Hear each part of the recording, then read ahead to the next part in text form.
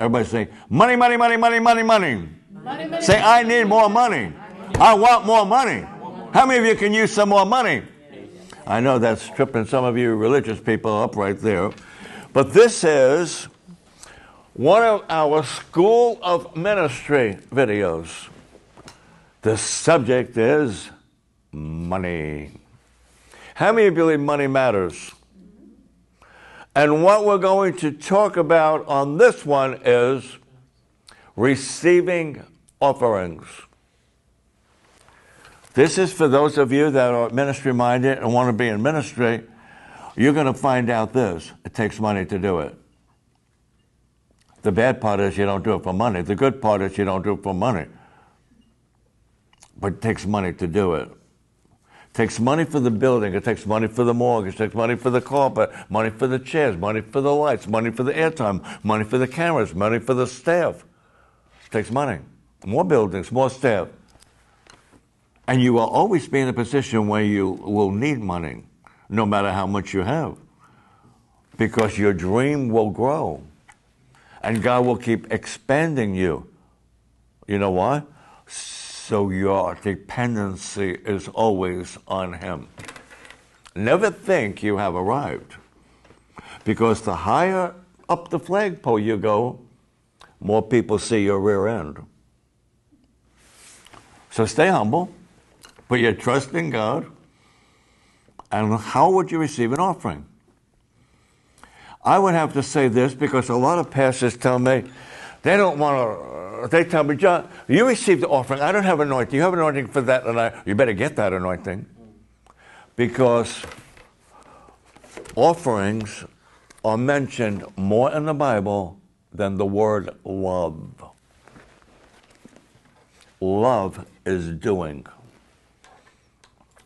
Love is doing. It takes money to do it. So you have to have an unction to function. And your heart has to be right about it, your motive has to be right. And how you receive that offering has to be in a way that's going to help the people and bring glory to God. Because guess what? It ain't your money, it belongs to God for the work of God.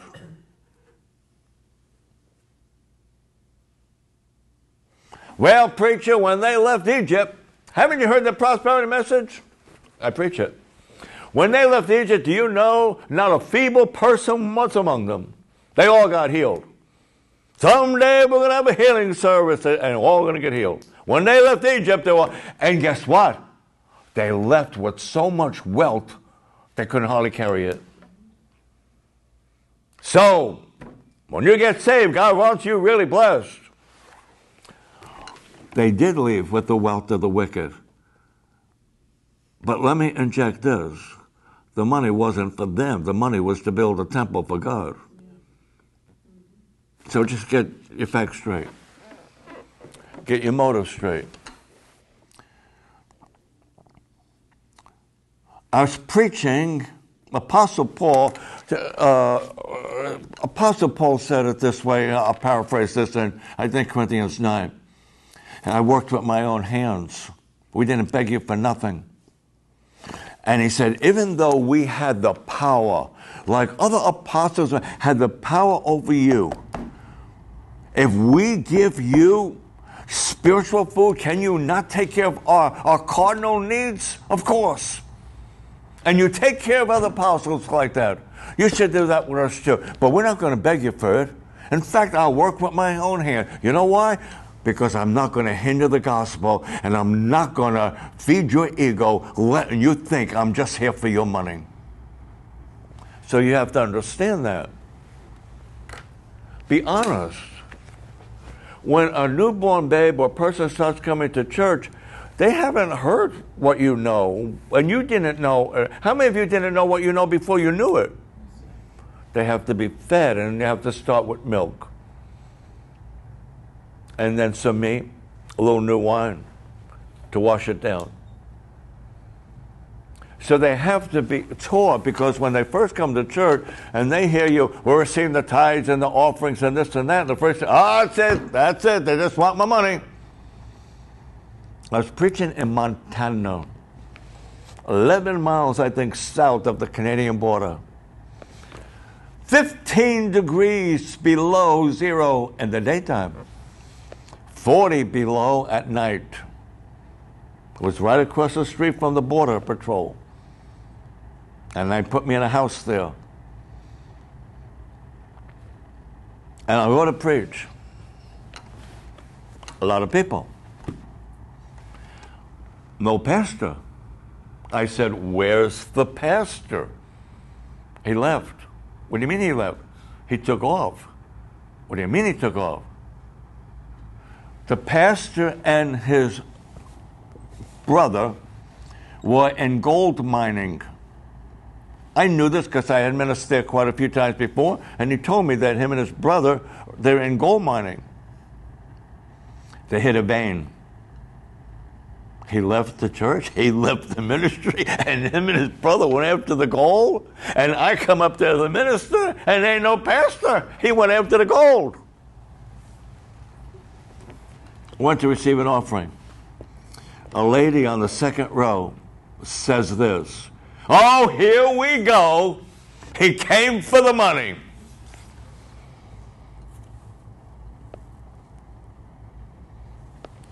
I said, Yes, ma'am.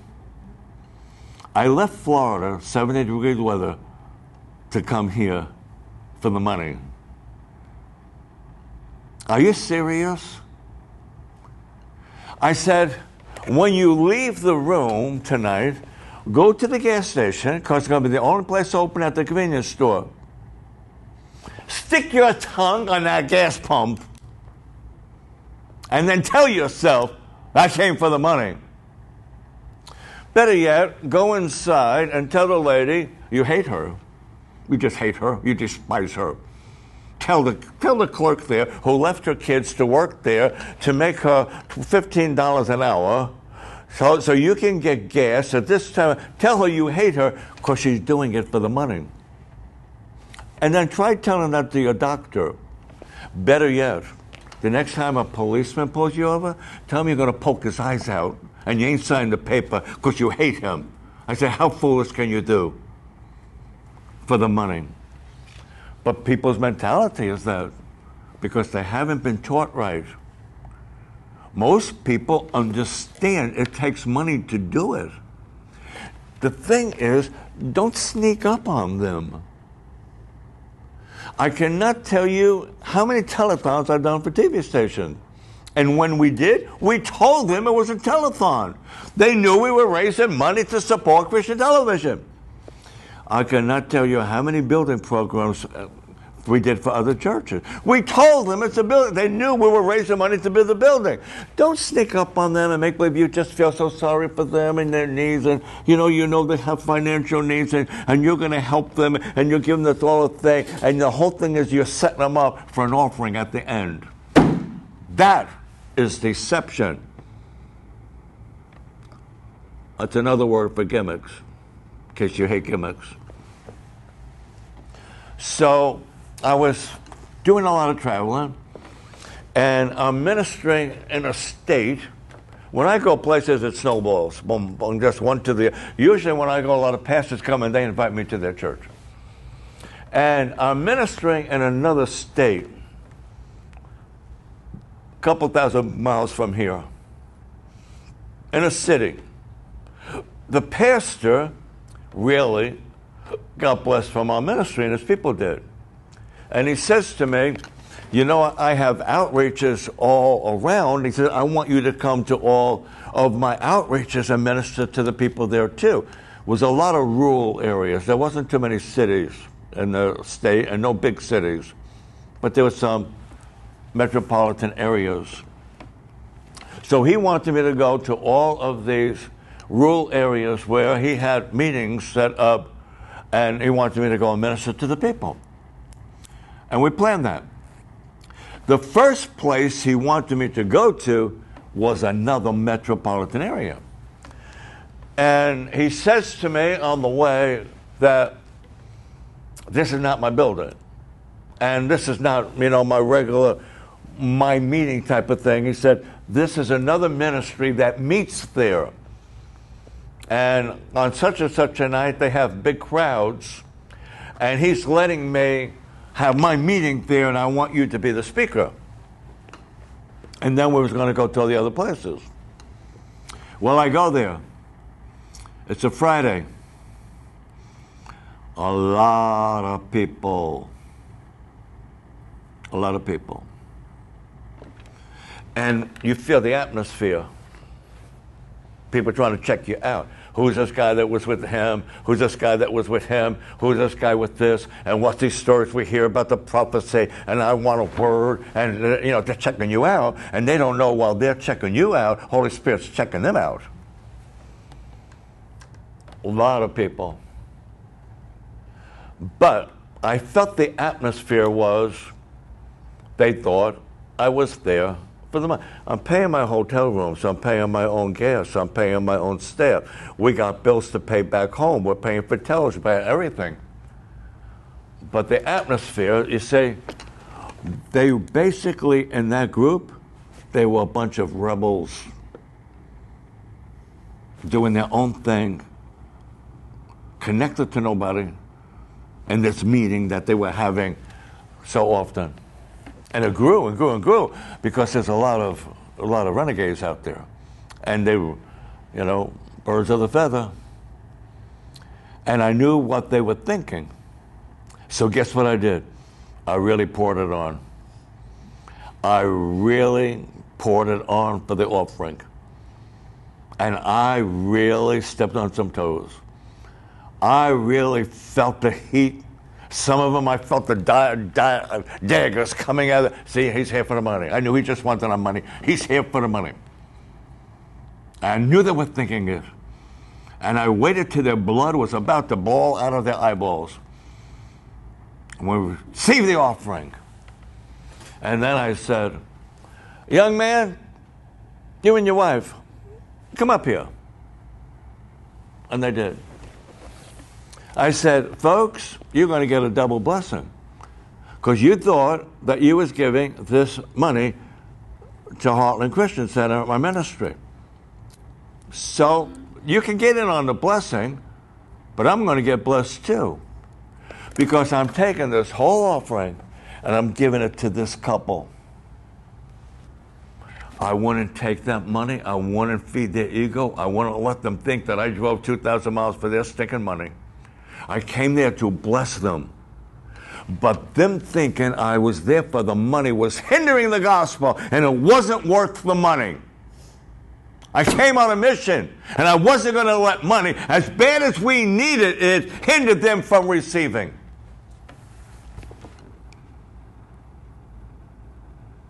The couple are still friends today. They're missionaries